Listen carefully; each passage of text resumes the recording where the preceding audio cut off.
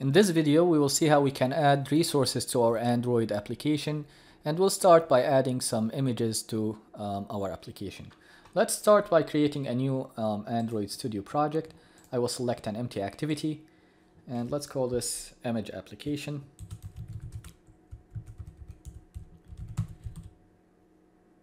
And I'll keep the same settings. I'll keep it um, the language as Java. I'll keep the API level at 15 and I'll click finish to create the activity and the project. Now we have the main activity.java and the activity underscore main.xml. Now any resource that we want to add to our um, project will be added to the resources folder, which is the res um, folder. So if you expand it, you'll see you already have some folders in here. One of them is the drawable, and this is the one where you will be pasting or adding your images. There's another folder here, which is mipmap, and you will see that we have actually here the icons that we had for this application. Notice that each one of these images have the same name, however, each one of them is for a different resolution. And in Android, you want to keep an eye for that. Your Android application will not be running on the same um, device. So you might have multiple types of devices running your application, and each one of these devices will have a different resolution. So it's really important when you add your resources, especially the image resources, that you have different versions of that resource. Each one of them is targeting a different resolution. So this way, whenever you are running your application on whatever type of device, your application will be displaying a good image and it will not be um, a blurry image or even a big image that will not fit in the screen. So that's something we need to keep in mind when we add image resources to our application. So again, when you are adding resources to your Android application, you have to keep in mind all the different um, densities that you have for different screens. So usually we start with the MDPI, this is our baseline, and this is about 160 DPI.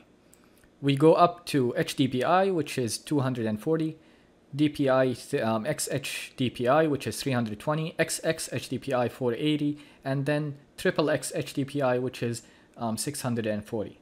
So if we had an image that is um, 48 by 48, the MDPI, the baseline, the HDPI will be um, 72 by 72, the XHDPI will be 96 by 96, XX HDPI will be 144 by 144, and then the triple X HDPI will be 192 multiplied by 192.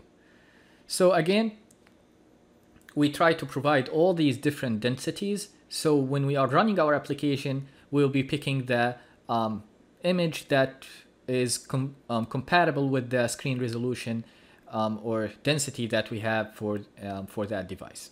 So let's go back here to Android Studio and import an image. The easiest way to add drawables or images to your Android project is actually going to the resource manager in here, clicking on the plus sign and then import drawables. You'll be presented with a select path pop-up and you can select on your drive from your drive where you have the image. This image will be imported to your project and will be added to your project. So if I clicked on cow.png, this is the image I'll be adding. Now, in this window, you'll be able to select the qualifier. So what, for example, if you want to select the density qualifier, what density is this image um, for? So is it for medium density devices, um, 140 um, DPI density devices? You can select any density that you want. Or if you want to display it in any device, you will add no density. So this will be for any device. So it doesn't matter which density the device is, this image will qualify for that um, application.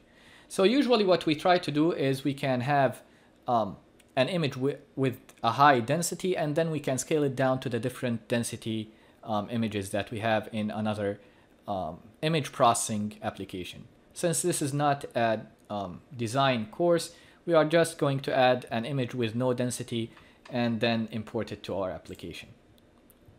So you'll see we have this um, image in here. If you go back to your project, you'll see this is the image and notice that we have the no DPI on the right in here. So now that the image is available in our resources, we can actually add that image to our um, layout. So I, I'm going to minimize this and I'm going to delete the hello world that we have here, the text view.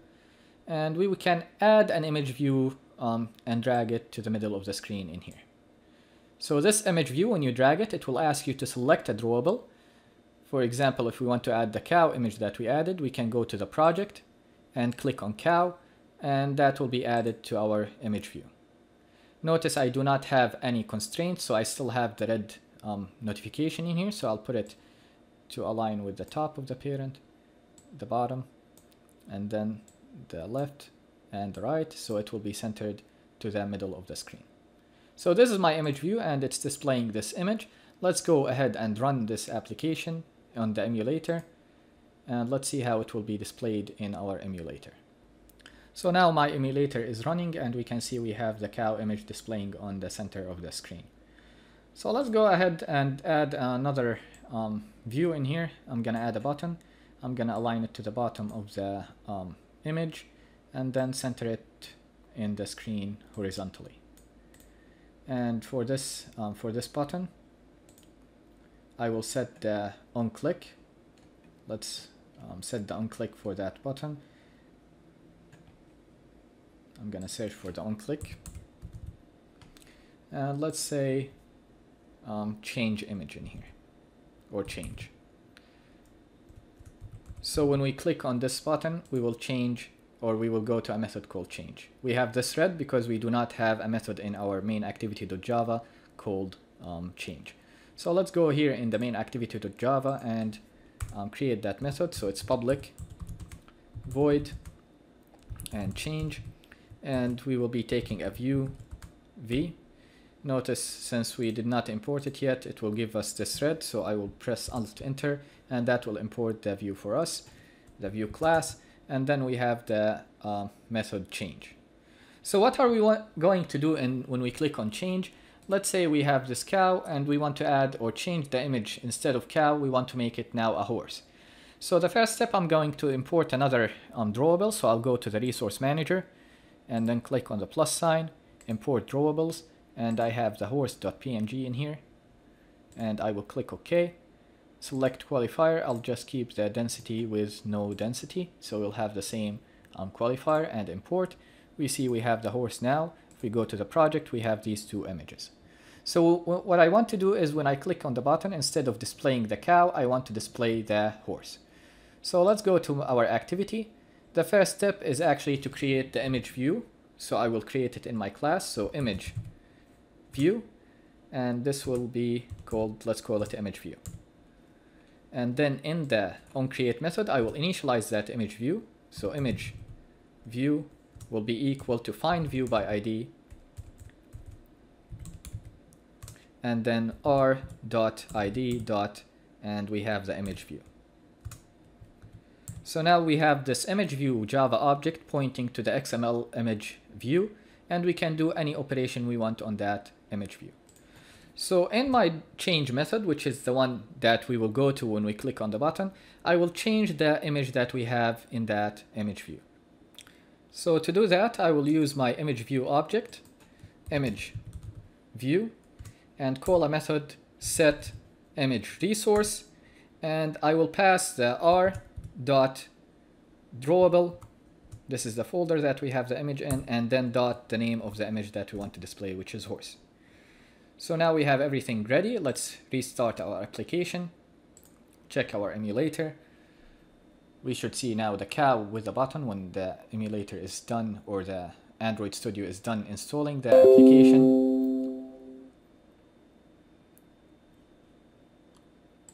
And when you click on the button now, you will see that we are displaying the horse in here. Now notice that the image actually changed in size. Why did this happen? Because we are using the wrap content in our activity main.xml. Um, so when we click on this image, let's remove the onClick search, you will see we are using the width and the height wrap content.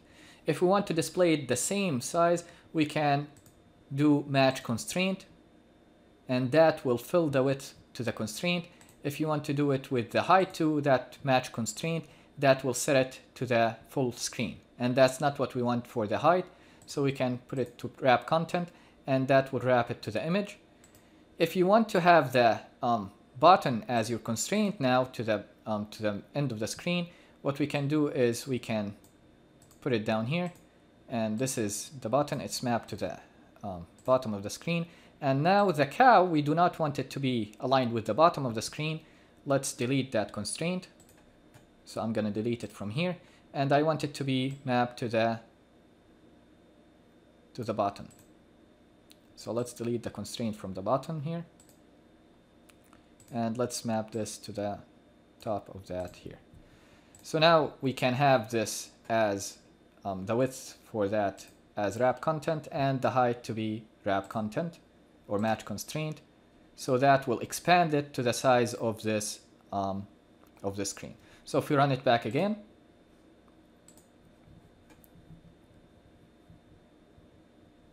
it's installing now on the emulator. If we click on the button, you'll see that we have the almost the same size for the horse and for the cow. Now if you click on the button again, nothing will happen because every time we click, we are just making the image equal to the horse. And let's say that we want to switch. So every time you click, whatever image is here will be switched to the other um, image. What we can do in our Java activity is actually have a flag. So let's create a Boolean flag in here. So Boolean um, flag, and let's assign it to be true. And when we click on the button, we want to check so if the flag is true, so if flag, we want to set the image to horse. If it wasn't true, we want to make it as cow. So when we have um, the flag as true, we want to set the image to the horse and we want to change that flag to be false. So when we have the flag as false, we, we know that we have a horse. When we have the flag as true, we'll know that we have the cow. So else we want to set the image view to be um, cow. So control C and then control V here, and I will have the drawable um, be the cow. So we start with the flag as true, or we can actually initialize the flag in our onCreate. So I will create the flag here equals true in our um, create method. So we start with true. Since the flag is true, we are actually displaying the cow. So we'll set the image to horse and we'll make the flag false. The next time we click, the flag is now false, so we'll go and set the image to cow. And we also need to change the, um, the flag back to true because we have um, the cow. So flag equals true. So if we run this application again in the emulator, every time we click on the button, it will be switching between the images. So it's installing. So when we click it's horse, when we click it's cow, so we keep switching between horse and cow in our application. Another way to do this is actually to assign a tag to your um, image. So what we can do, we can go to the XML here and add a tag. So Android tag, and then we can give a tag to that image. So for example, this tag is cow. So this image is cow, so we are giving it a tag um, cow. So when we go to our main activity now, we do not need a flag anymore we can go and check what image we are displaying. So to get the image or the tag, we can use image view dot get tag, and that will return the tag that we want or that we have for that image. And then we can compare it with to um, using the equals method.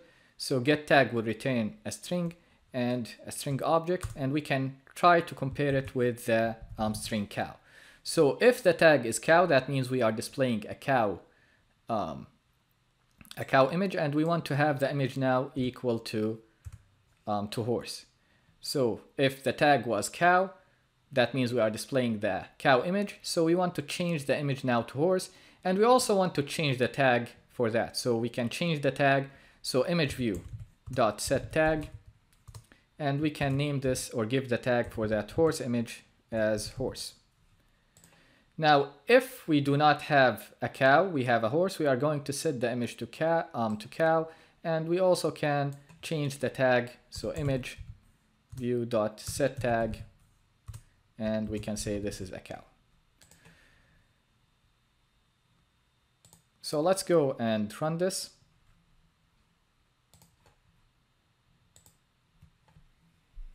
It's going to reinstall, and then we will see what happens when we click on the button. So I clicked, I'm changing to horse, I'm clicking, changing to cow and horse. And this is how we can add or use tags with our images um, to check what type of image we are displaying on the screen. So what's the image we are displaying on the image view? Uh, we are using a tag to get that information.